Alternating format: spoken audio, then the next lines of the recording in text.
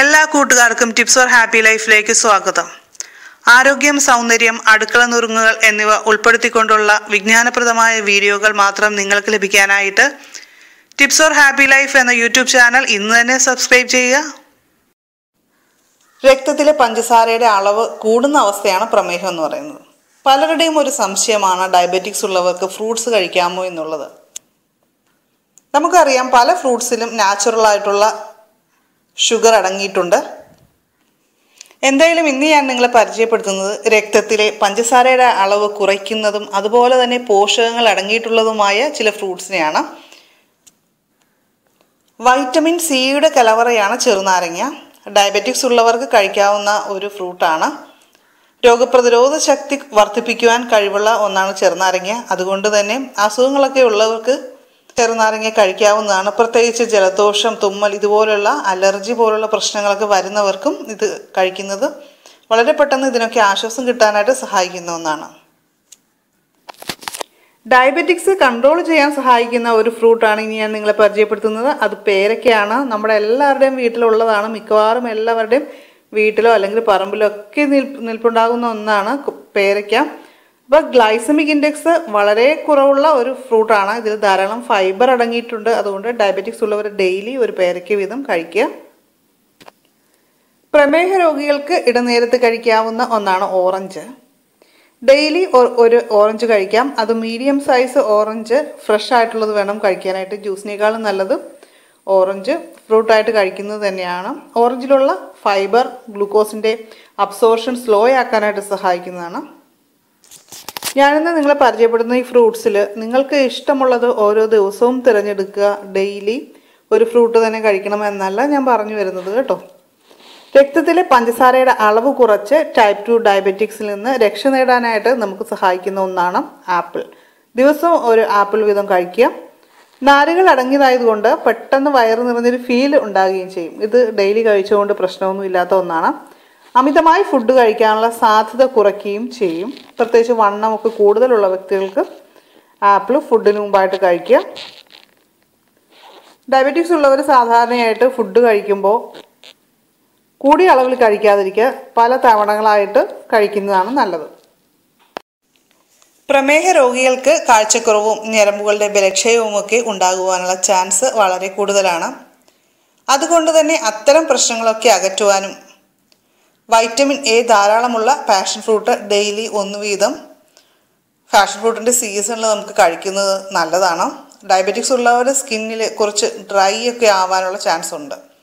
അതുകൊണ്ട് തന്നെ ചുളിവ് വീഴാനും സാധ്യതയുള്ള ഉള്ളതാണ്. പാഷൻ ഫ്രൂട്ടിലെ ആന്റി ഓക്സിഡൻസ് നമ്മുടെ സ്കിൻ എപ്പോഴും ഹൈഡ്രേറ്റഡ് ആയിട്ട് നിലനിർത്തുകയും ഗ്ലോ ആയി നിലനിർത്തുവാനും സഹായിക്കുന്ന ഒന്നാണ്.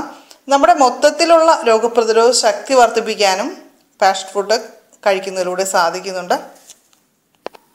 കുറച്ച് മധുരമുള്ള ഒന്നാണ് തണ്ണിമത്തൻ. എന്ന കാരണം കൊണ്ട് ആരും തണ്ണിമത്തനെ ഒഴിവാക്കേണ്ടതില്ല എന്നാണ് എനിക്ക് തോന്നുന്നത്. കാരണം ചെറിയ അളവിൽ ഇത് കഴിക്കുന്നത് നമ്മുടെ ശരീരത്തിന് ആവശ്യമുള്ള ധാരാളം വൈറ്റമിൻസും മിനറൽസും ഒക്കെ ലഭിക്കാനായിട്ട് സഹായിക്കുന്നു.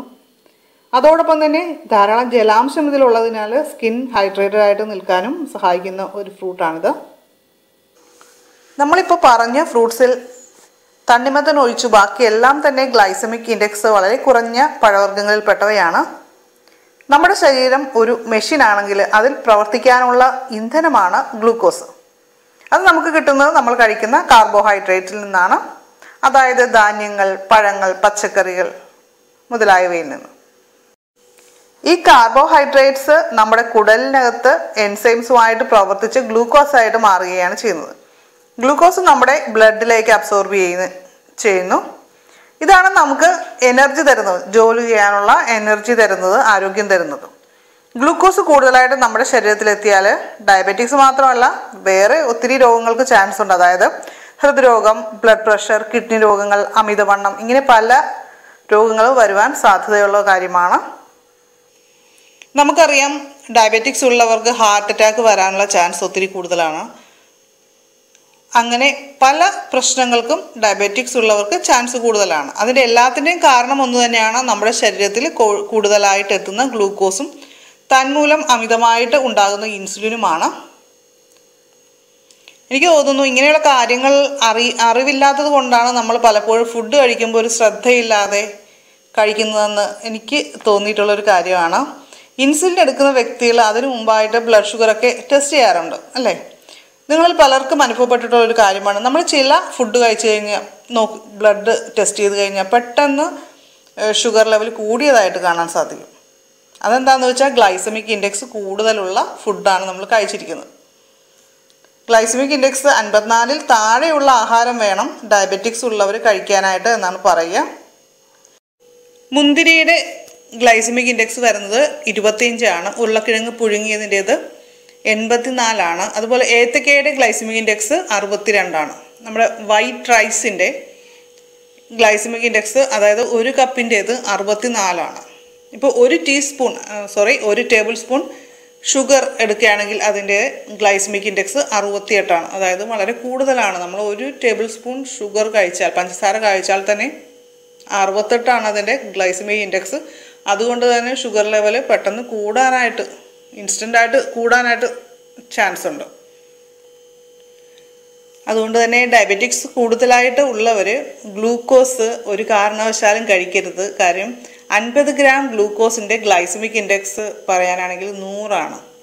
വൈറ്റ് ബ്രെഡിന്റെ പോപ്കോണിന്റെ ഇതിന്റെയൊക്കെ വളരെ കൂടിയ അളവിലുള്ള ഗ്ലൈസമിക് ഇൻഡെക്സ് ഉള്ള ആഹാരമാണ്. അതുപോലെ ഡയബറ്റിക്സ് അമിതവണ്ണം ഒക്കെ ഉള്ളവർ ഇതൊക്കെ ഒഴിവാക്കുക തന്നെ വേണം. പക്ഷേ നമ്മളിത് മനസ്സിലാക്കാത്തത് കൊണ്ടാണ് പലപ്പോഴും ഇത്തരത്തിലുള്ള ആഹാരം കൂടുതലായിട്ട് കഴിക്ക് കഴിക്കുന്നത് എന്നാണ് എനിക്ക് തോന്നുന്നത്.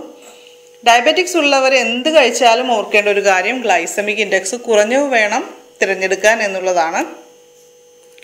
അപ്പോൾ ഡയബറ്റിക്സ് ഉള്ളവരെ ഒഴിവാക്കണം എന്ന് പറയുന്ന ഫുഡ്സ് തീർച്ചയായിട്ടും നമ്മൾ ഒഴിവാക്കുകയോ അല്ലെങ്കിൽ കുറയ്ക്കുകയോ ചെയ്യാം. അതിനുള്ള ശ്രമം ഇന്നു മുതൽ നമ്മൾ നടത്തുക. ഈ വീഡിയോ തീർച്ചയായും ഡയബറ്റിക്സ് ഉള്ള നിങ്ങളുടെ ഫ്രണ്ട്സ് അല്ലെങ്കിൽ ഫാമിലി മെമ്പേഴ്സിനൊക്കെ ഒന്ന് ഷെയർ ചെയ്ത് കൊടുക്കുക. വീഡിയോ ഇഷ്ടമായ ലൈക്ക് ചെയ്യുക. ആദ്യമായിട്ട് നമ്മുടെ ടിപ്സ് ഓർ ഹാപ്പി ലൈഫിന്റെ വീഡിയോസ് കാണുന്നവർ തീർച്ചയായും സബ്സ്ക്രൈബ് ചെയ്യാനായിട്ട് മറക്കരുത്. നോട്ടിഫിക്കേഷൻ ലഭിക്കാനായിട്ട് ബെൽ ബട്ടൺ ഒന്ന് ക്ലിക്ക് ചെയ്യുക. നമ്മുടെ ഫേസ്ബുക്ക് പേജിന്റെ ലിങ്ക് ഈ വീഡിയോയുടെ ഡിസ്ക്രിപ്ഷൻ ബോക്സിൽ ഞാൻ വയ്ക്കുന്നുണ്ട് തീർച്ചയായും ഫേസ്ബുക്കിൽ ആക്റ്റീവായിട്ടുള്ള ഒരു ലൈക്ക് ചെയ്യാനായിട്ട് മറക്കരുത്. അപ്പോൾ നിങ്ങൾ ആവശ്യപ്പെട്ട മറ്റൊരു വീഡിയോയുമായിട്ട് നമുക്ക് വീണ്ടും കാണാം. എല്ലാവർക്കും നല്ലൊരു ദിവസം ആശംസിക്കുന്നു. നന്ദി നമസ്കാരം.